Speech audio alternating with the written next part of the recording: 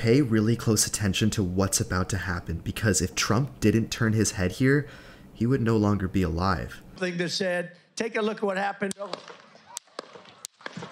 I am going to show you frame by frame just how lucky Trump got. I don't think anyone understands how close of a call this was. All right, let's figure out exactly when he was shot, the exact frame. Take a look at what happened. It's right here, okay? Nine seconds and four frames. We are doing 60 frames per second. Now watch this. Let's see when he turns his head, exactly when. He turns his head right here, okay?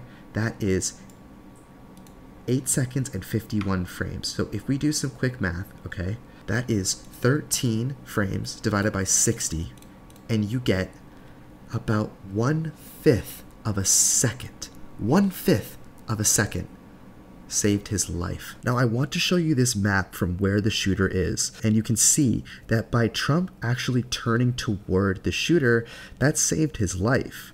Now, I'll show you what I mean. So the shooter was aiming at his temple, okay? And he's on the right side.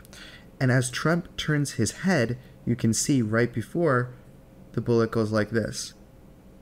See that? So it's like this, and then Trump turns his head, and it goes like this, right past his ear. So it's coming like this, and then Trump turns, and it goes like this. Now, it gets even more interesting. The shooter was seen on the roof for five minutes before he took the shot.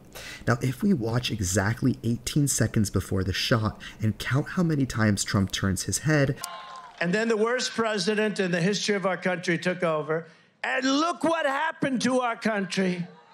Probably 20 million people.